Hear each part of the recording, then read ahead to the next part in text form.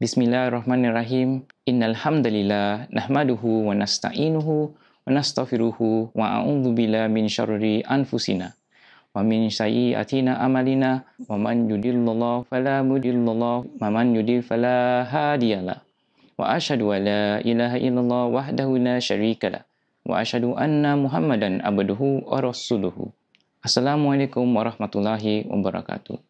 In the name of Allah, the most gracious, the most merciful, verily all praise is for Allah. We praise Him and seek His aid and ask for His forgiveness and seek refuge in Allah from the evils of ourselves and our evil actions.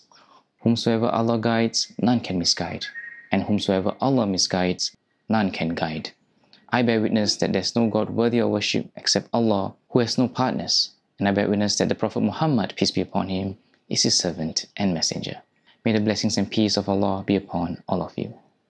Have you ever wondered whether keeping a beard is just a sunnah, a practice of our beloved Prophet Muhammad or wajib, an obligation for Muslim men? You might have heard people say growing a beard is just a sunnah, and that shaving it is only slightly disliked. Some might even argue that in order to fit into society, it's better to shave. But let us pause for a moment what does the Quran Sunnah and our respected scholars say about this? Today, I want to dive deeper into this topic and explore why many Muslims consider that keeping the beard is obligatory. As this topic involves many references, we will have to break them down into a few episodes in order to fully cover it. As a surprise in the last episode, I will also share with you something personal. How my journey in keeping the beard led me to having the need to change my madhab, school of thought, from Shafi'i to Hanbali in Singapore. So stay tuned until the very end. Is following a madhab obligatory?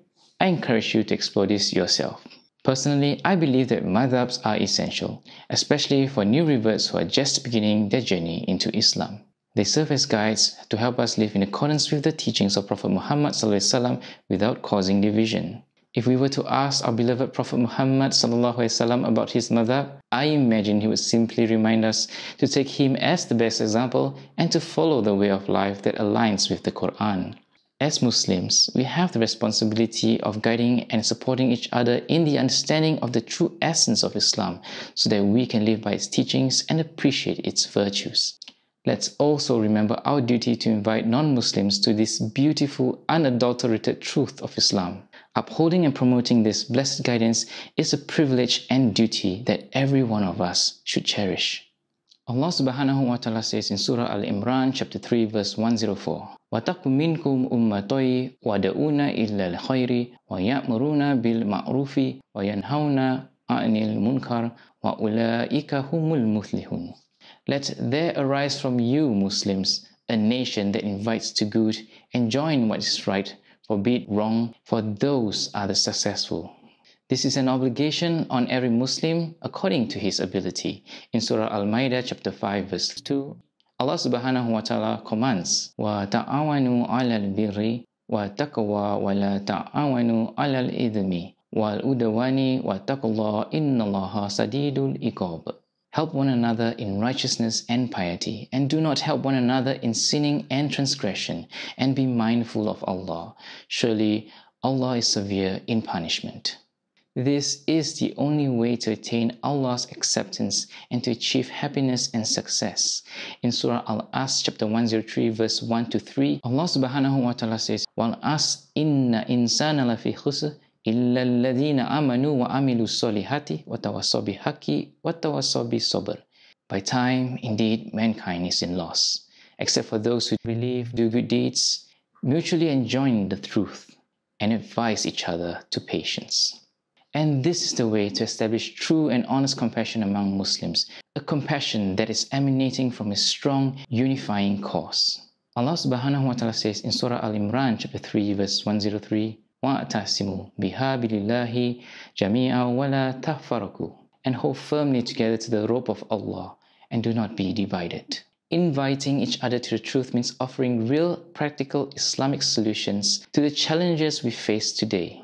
Let's be honest, only Allah's guidance has the power to heal us from our struggles, whether they be personal battles or issues affecting our entire community. When we turn to His infinite wisdom, we find the most complete and fulfilling answers to life's problem, showing us that His way is the best way forward for all of us. Allah subhanahu wa ta'ala says in Surah Al-Ma'idah chapter 5 verse 49, وَأَنِّهْكُمْ بَيْنَهُمْ بِمَا أَنزَلَ اللَّهُ وَلَا تَتَبِي أَهْوَاءَهُمْ Judge between them according to what Allah has revealed and do not follow their errant views. So now let's look at the beard and why it is an obligation for Muslim men to keep it. Firstly, what is the definition of a beard according to Islam? The Arabic word for beard is lihyatun and it is defined as the hair that grows on the cheeks and the jaws. It includes the hair that grows on the temples, underneath the lower lip, the hair of the chin, and the hair that grows on the lower side of the jaws. This understanding emphasizes the beard encompasses more than just the chin hair. It is a defining part of man's appearance according to Islamic teachings. In the next video, I'll be sharing with you 9 points as to why keeping the beard is considered obligatory for Muslim men. Don't forget to like and subscribe to my social channels Shaherald S-H-A-H-E-R-A-L-D on YouTube, F-E-R-D-A-U-S.C-H-I-A on TikTok, Instagram and Facebook. Share this video so that others can benefit from this knowledge, maybe grow a beard, and that you can earn the rewards from Allah for spreading it. We approach Rabiul Awal, the blessed month commemorating the birth of our beloved Prophet Muhammad and reflecting on his early life as an orphan. What better way to honor his legacy than to help those in need? May Allah Azza wa Jal accept all our efforts multiply rewards, and ease the suffering of every orphan child. May He grant us the strength to continue on this noble work following the Sunnah of Prophet Muhammad not only in this month of Rabiul Awal but throughout our lives. May His mercy and guidance always be with us. So before I let you go, on the 2nd of November 2024, I'll be traveling to Palestine. So if you have any dua that you would like to send our dear brothers and sisters there, write them down in the comment section here in this video or send a DM to me. Assalamualaikum warahmatullahi wabarakatuh.